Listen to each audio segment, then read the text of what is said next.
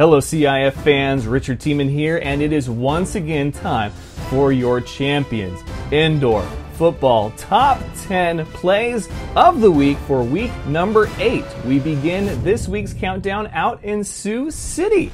At number 10, let's hear it for the rookie Sammy Epps as Dylan Turner is going to throw this one to him and he catches it for his first career reception, which also happens to be a Bandits touchdown. Congrats, Sammy Epps.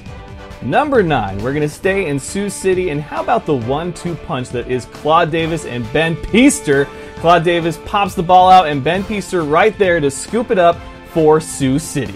Number eight, out to Omaha, the Force and the Beef, and Corey Murphy is going to take this one in himself from 18 yards out for touchdown, Wichita. Number seven, we're going to stay in Omaha, the Beef on offense. Drew Jackson looking for Tyler Jones, who tips it up and catches it. He did what? This looks like a classic tip drill, but he tips the ball to himself. Let's take one more look at this one. Pops it up and reels it in for a first down, Omaha.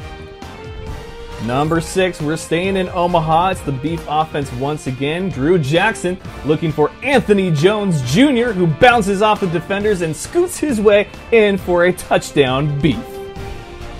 Number five, we go back to Sioux City for the Liberty and the Bandits, and Shaq Bradford does not know the meaning of the word quit as he will chase down Dylan Turner and eventually get the much needed sack for Salina. And look how fired up Coach O'Neill is after that one.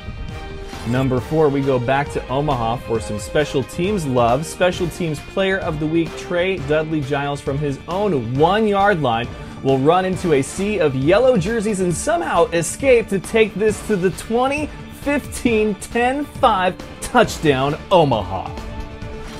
Number three, we go back to Sioux City. Dylan Turner making his debut as the Bandits quarterback is going to take this one himself from the 13 through three defenders and finally barrels his way in for the touchdown Bandits.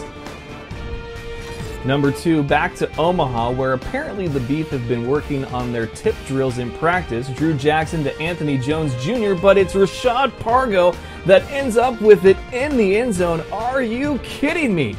Intended for Anthony Jones Jr. and Pargo right there as if they drew it up that way. Touchdown, Beef.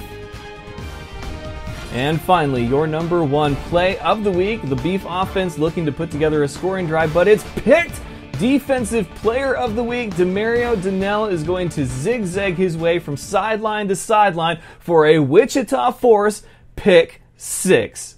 And those, ladies and gentlemen, are your CIF top 10 plays of the week.